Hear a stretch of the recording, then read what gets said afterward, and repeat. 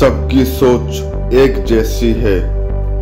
एक दिन जब अदालती कार्रवाई चल रही थी, अकबर ने देखा कि सभी के एक ही प्रश्न पर परस्पर विरोधी विचार थे और वे एकमत नहीं हो पा रहे थे।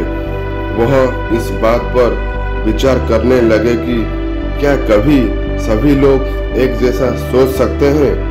भ्रमित राजा ने बीरबल से पूछा कि क्या वह उसे यह समझा सकते हैं?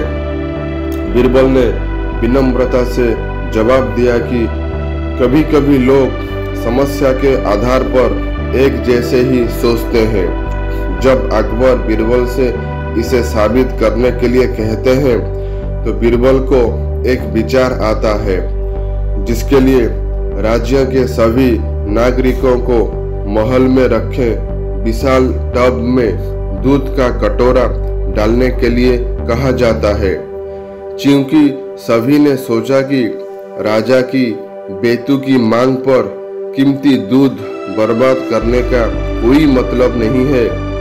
इसलिए सभी लोगों ने यह मानकर पानी का कटोरा डाला कि दूसरे लोग दूध डाल रहे होंगे और वे पकड़े नहीं जाएँगे।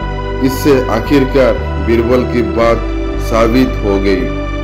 आम लोगों की सोच एक जैसी होती है। Thank you friends